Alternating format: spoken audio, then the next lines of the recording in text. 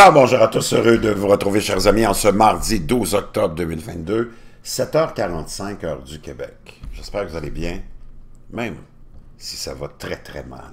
Et rassurez-vous, demain sera pire qu'aujourd'hui.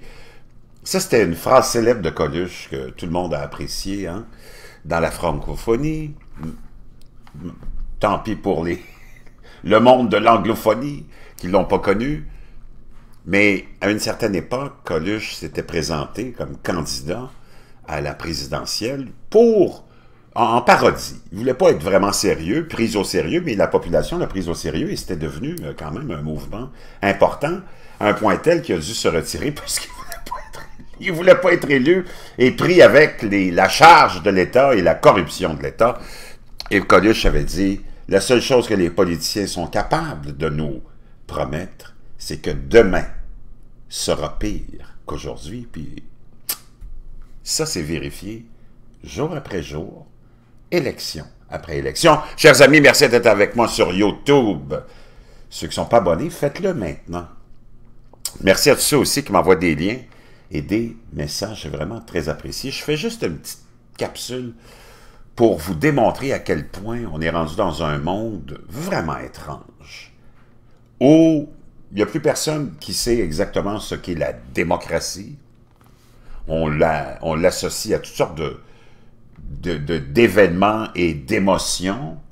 On se rappelle, je vous ai partagé les, les paroles d'Emmanuel Macron il y a une semaine ou deux sur euh, CNN avec Jack Tapper en entrevue qui lui disait « Mais Monsieur le Président, vous n'êtes pas inquiet face au mouvement hein, qu'on voit partout, de plus en plus populaire à travers le monde? De racisme, de xénophobie, de nationalisme et de populisme. Naturellement, il y a des élections qui ne font pas l'affaire des médias, de cette élite hein, bien pensante qui contrôle le narratif dans nos pays.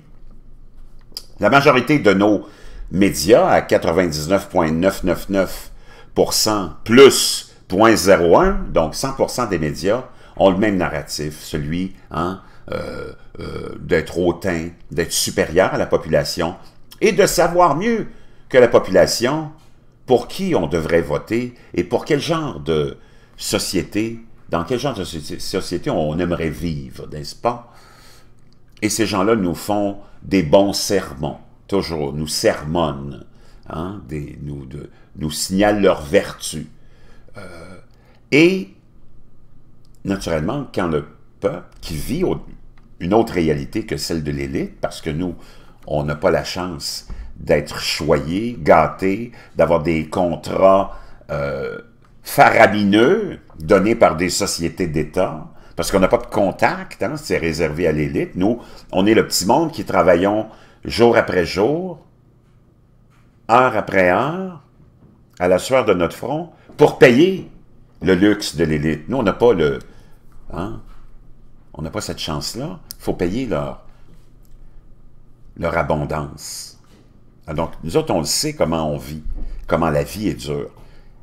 Et toute cette idéologie gauchiste, socialiste, hein, de cette bulle rose dans laquelle eux ne vivent pas, mais veulent nous voir vivre. Euh, détrompez-vous pas, hein, euh, ces gens-là vous vendent le socialisme, mais ils participent pas au socialisme. Le socialisme, c'est l'égalitarisme. C'est l'égalité pour tout le monde. C'est une aberration totale. Ça ne peut pas exister. Parce que personne n'est égal. Et quand on l'impose en politique, généralement, c'est avec du totalitarisme. Parce que il n'y a personne qui en veut. Il faudrait que la population aussi, mais c'est pas la population qui fait ça, mais des groupes qu'on crée, les élites créent des groupes qui ont l'air de venir de la population, qui sont toujours là, hein, on appelle ça les agitateurs ou euh, ceux qui sont, euh, comment on, les appelle aussi, les extrémistes aussi, des deux camps, mais surtout d'un camp qui vient de la gauche, euh, mais des activistes qui demandent l'égalité, l'équité, la justice pour tous. C'est toutes des phrases creuses qui veulent absolument rien dire, mais qui font en sorte que le pouvoir la classe dirigeante et le gouvernement deviennent toujours de plus en plus puissants et envahissants parce qu'on leur demande, ces groupes-là qui sont créés de toutes pièces, dans un système de raquettes pyramidales, font en sorte que les médias font écho de ça et rapportent ça. Oh, il faudrait que le gouvernement fasse ceci, de la justice pour un, de la justice pour l'autre, de l'équité pour l'équité pour Et tout ce que ça donne comme résultat, c'est que la misère disparaît pas, l'égalité se fait pas parce que ça se fera jamais, mais le gouvernement devient toujours de plus en plus gros et les politiciens toujours de plus en plus puissants et envahissants. Ça, c'est à retenir, vraiment important ce que je vous dis là. Parce qu'en fait, le seul message qui devrait être véhiculé, c'est que, puis vous le savez, tous ceux qui ont une tête, ses épaules, puis une rationalité, dans la vie, il n'y a rien de gratuit, et si tu veux quelque chose, il faut que tu y mettes l'effort. Tu n'es pas satisfait de ton salaire, de ta situation? Tu ne peux pas demander aux voisins de contribuer à l'amélioration de ta situation. Parce que ça va contre la nature. Il faut que toi, tu prennes ton courage à deux mains et que tu ailles améliorer ta situation en retournant à l'école, en te recyclant, en travaillant plus fort, en ayant un deuxième emploi s'il le faut. Donc, ceci étant dit, on vit dans une époque complètement gaga. Les réseaux sociaux ont contribué à cette euh, expansion euh, de cette idéologie. Et on vit une époque très étrange. La démocratie ne veut plus rien dire.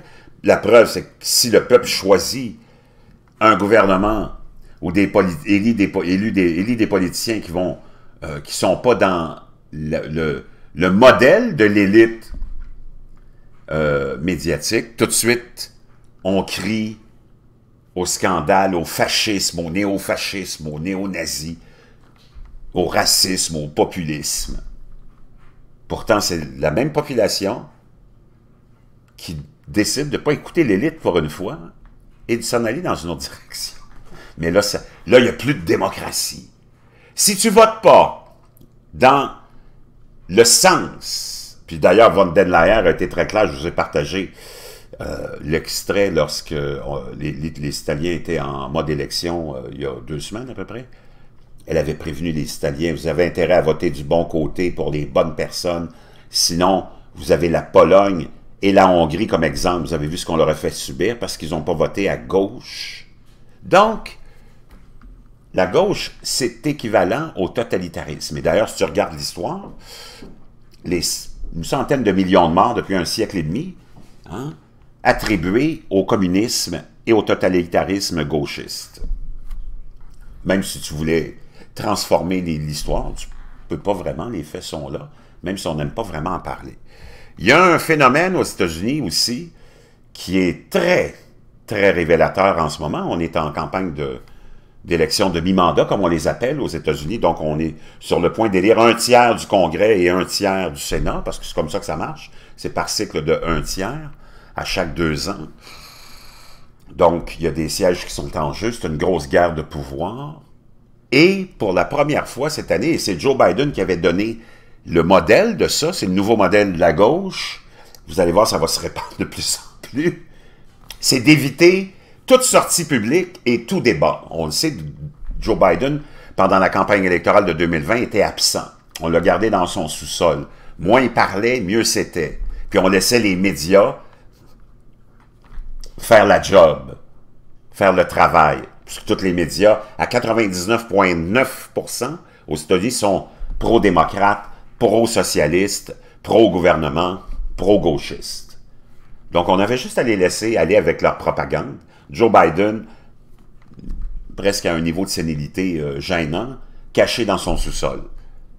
Et en ce moment, ce qui a fait la fierté de notre démocratie depuis longtemps et nos élites, puis nos médias, puis nos têtes parlantes des médias, nous ont toujours vanté le fait qu'on était chanceux de vivre dans une démocratie, de pouvoir aller voter, les candidats débattent entre eux. Ben, en ce moment, la majorité des candidats démocrates fuient les débats, veulent pas débattre. Et d'ailleurs, ils se sont tous arrangés pour pas débattre avant, jusqu'à euh, euh, une semaine ou deux du vote, alors que ça aurait permis à tous ceux qui votent par courrier, puis il y en a de plus en plus, aient déjà eu le temps de voter et la chance de voter sans avoir eu aucun débat de leur candidat. C'est très, très, très bizarre comme, euh, comme comportement. Et c'est le broking.edu euh, qui nous rapporte ça. L'inquiétant recul du débat sur les candidats au Sénat et au Congrès, mais surtout au Sénat. 10 octobre 2022, donc il y a deux jours. Alors que les élections de mi-mandat aux États-Unis approchent, les débats entre candidats qui font depuis longtemps partie de la saison électorale en Amérique et de notre démocratie sont devenus rares ou totalement absents dans bon nombre de courses au Sénat, les plus compétitives en plus cette année. Mais plutôt qu'une anomalie, 2022 n'est que le dernier point de données d'une tendance à la baisse des débats au Sénat. Wow! Incroyable! Bien que de tels débats puissent être une victime du calcul électoral, leur fréquence décroissante signifie la perte d'une institution démocratique précieuse qui encourage l'engagement politique et le dialogue fondé sur des principes dans un moment politique où les idées sont remises en question. Wow! Il y a un tableau de, la quantité des débats, là, et on, on parle de ça. Mais quand on regarde des politiques démocrates, socialistes, un peu partout à travers notre monde occidental, c'est un échec lamentable. C'est une intrusion dans nos vies, c'est moins de liberté, moins de liberté personnelle, mais de, responsabilité personnelle. C'est plus d'imposition. Et vous allez voir, ça va être une tendance de plus en plus euh, répandue dans nos pays. On ne voudra plus débattre. Parce que, naturellement, leur bilan est tellement désastreux que c'est certain qu'on ne veut pas venir devant l'électorat et se faire questionner par une opposition plus euh, agressive, qui va exposer l'échec lamentable des 60 dernières années. On pourrait même remonter à mai 68, où ça a été un peu la dégringolade de nos sociétés occidentales, dans la destruction du fondement de nos sociétés,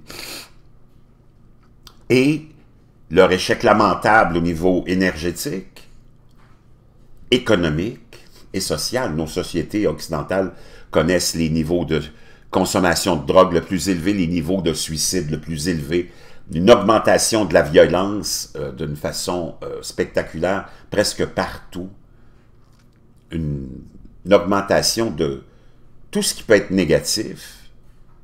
Je veux dire une chose, je comprends que ces gens-là ne veuillent pas débattre, surtout les gauchistes qui gèrent nos pays depuis euh, mai 68.